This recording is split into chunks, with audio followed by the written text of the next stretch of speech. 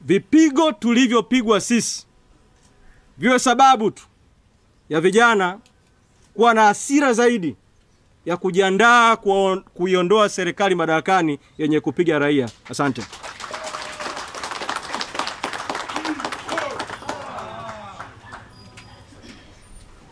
Kushukuru Mheshimiwa katibu, katibu mkuu na niwashukuru waandishi wa habari kwa kuja. Mimi tofauti na wenzangu waliotangulia, mimi sikutangulia pamoja nao Iringa. Nilikuwa nje ya nchi kwa sababu ya shughuli za kisiasa za kimataifa nchini Marekani. Kwa hiyo nilirudi hapa tarehe kumi na moja saa nne usiku. Nilivyoingia kwenye mitandao ya kijamii nikaona yaliyokuwa yametokea. Nilipiga simu ya viongozi wenzangu wote wa baraza, kwa maana ya Moza Ali haikupatikana, ya Mwaipaya haikupatikana, Kaunya haikupatikana, viongozi wa mikoa yote ya vijana hawakupatikana. Baada ya kuwa nimepata hiyo shida, nikamtafuta mwenyekiti wa chama, ndio wa kwanza kumpigia simu, nikamweleza hali ilivyokuwa mbaya.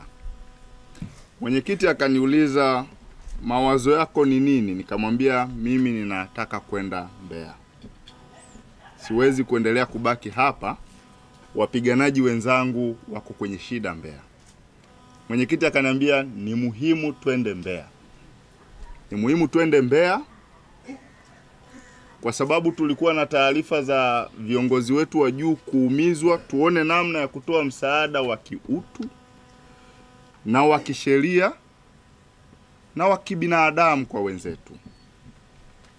Kwa hiyo tukatafuta tiketi ya ndege usiku, tukapata ndege Air Tanzania inayotoka hapa saa tatu na dakika hamsini asubuhi.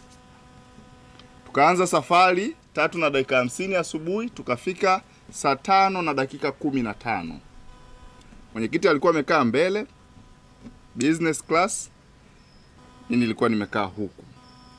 Wakati watu wanashuka, mwenyekiti akuwa ameshuka na mimi nikawa nime mwenyekiti alikuwa amekaa pale mbele na mimi nikawa nimekuja. Nilipofika nikamkuta mwenyekiti, mwenyekiti akaniambia, naona kuna askari wengi sana, kuna kuna mheshimiwa yoyote anasafiri hapa, tumekuja naye. Kaambia hii inaweza isiwe ishara nzuri kwetu. Kweli tukashuka. Tulivyoshuka, kumbe askari wameenea pale chini, wakanikamata mimi, wakawa nantoa mbali kunitenganisha na mwenyekiti. Baadaye wakasema mwacheni, mleteni pamoja na mwenzake. kwao tukaletwa pale na mwenyekiti. Mwenyekiti begi lake likaitwa, akaletwa, alivyoletewa tukapakizwa kwenye gari Toyota Hardtop. Mbele yetu pakawa na V8 mbili, alafu pakawa na gari mbili za polisi, zile Land Cruiser za wazi, polisi wamejaa kwenye zile gari. Tukapelekwa mpaka ofisi ya RPC wa mkoa wa Mbeya. Tulipofikishwa pale, tulipofikishwa pale kwanza tulipokuwa airport, mwenyekiti akadimandi tuambiwe kama tumekamatwa kosa letu ni nini. Waliotukamata wakasema sisi wenyewe hatujui tunawakamata kwa sababu gani, ila wakubwa wetu watakuja wawaambie kwa nini tumewakamata. Akatupeleka ofisi za RPC. Tulivyofika pale, yakapita kama masaa mawili, wakawa wanabadilishana, wanakuja hawa, lakini wawili waliendelea kuwa mwanzoni mpaka mwisho. Kwa walipokuwa wakija wapya, mwenyekiti na mimi tunauliza kosa letu ni nini? Wanasema hata wao hawajui kosa lao mpaka viongozi waje ndo watasema. Baadaye akaja askari mmoja anaitwa Fande Sweet, Sweetbet na mwingine anaitwa Adam, wakanitenganisha mimi na mwenyekiti. Sweetbet akaenda kumhoji mwenyekiti, Adamu akaenda kunioji mimi. Mwenyekiti alikataa kuzungumza chochote, yeye hakusema chochote. Walipomuuliza jina na chochote haku, hakusema chochote, lakini mimi niliandika tu jina langu na nikasema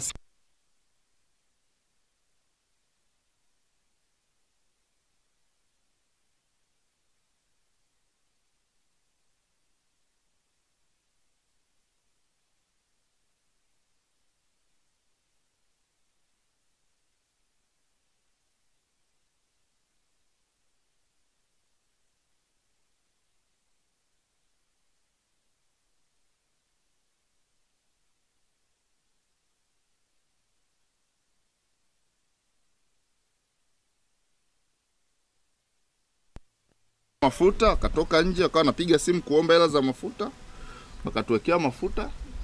Baadaye tulivyofika tena Morogoro, gari ikaishiwa tena mafuta, wakapiga tena simu, wakaongezewa lita 30. Baadaye ndio tukaletwa Central Police. Tulivyoletwa Central Police, tukapelekwa kule kwa mkuu wa upelelezi wa kanda ZDCO kama sijakosea, jina lake anaitwa Mafwele, akatuambia dhamana ziko wazi, dhamana ziko wazi. Mwenyekiti akawaeleza kwamba mimi ni mwenyekiti wa chama na ni kiongozi wa juu wa chama, siwezi nikatoka lockup ikiwa ninajua wamekamatwa watu wengi, wenyewe wakaendelea kubaki ndani, mimi nikatoka nje, hilo haliwezekani. Wakasema basi tupe muda tuwasiliane na wakubwa zetu, kwa sababu sisi tuliambiwa tukuatendi wewe mwenyekiti na mheshimiwa Pambalu, wacha tuwasiliane. Kwa hiyo sisi tukatolewa nje, wakaongea walivyoongea wakatwita tena ndani, wakasema Mheshimiwa Lisu ameshadhaminiwa ameenda kwake.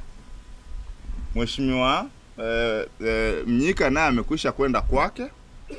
Kwa hiyo mmebaki na, na, na, na, na Sugu naye ameshaenda kwake, mmebaki tu nyie, Mheshimiwa Mwenyekiti. Mwenyekiti akadimandi azungumze na wakili ili hao mawakili wa, wa watuhakikishie kama kweli wenzetu wametoka. Wakakataa. Tukaomba simu zetu pia ili tuongee walau na ndugu wa karibu na hao ndugu zetu waliotoka nje, wakakataa. Basi mwenyekiti akawaambia tena, kama hamwezi mkatupa simu alafu mkatuacha twende uraiani, wakati simu ndio mawasiliano ndio ofisi, tuwekeni hapa, tuko tayari kulala huku ndani mpaka siku mtakayoona inafaa kutuachia. Wakarudi tena wakapiga simu tena, wakaambiwa wapeni na simu zao. Kwa baada ya hapo tukajidhamini, mimi nikajidhamini na mwenyekiti akajidhamini, tukaambiwa turudi tarehe kumi na tisa siku ya Jumatatu, turudi polisi siku ya Jumatatu tarehe kumi na tisa. Baadaye wakaleta magari mawili, mi nikapewa gari moja nipelekwe kwangu, na mwenyekiti akapewa gari lingine naye apelekwe kwake, lakini wakakataa wasimpeleke mwenyekiti airport ambako aliacha gari yake. Wakagoma kabisa kwamba hapana, mwenyekiti, sisi hatukupeleki airport, tunataka tukufikishe kwako. Ukishafika kwako, utaratibu wa kwenda kutafuta kuchukua gari lako airport utakwenda. Kwa hiyo hayo ndio ambayo yalitokea upande wangu mimi pamoja na mheshimiwa mwenyekiti. Itoshe kusema kwamba kwa upande wangu kwamba taifa limeingia katika majaribu, haki inajaribiwa, demokrasia inajaribiwa, na taifa linapoingia katika majaribu, linapoharibika taifa, wanaoumia sana ni vijana, maana wana kesho kubwa zaidi. Wito wangu kwa vijana, sisi ni waamuzi wa hatima yetu wenyewe. Sisi ni waamuzi wa hatima yetu wenyewe, na tuamue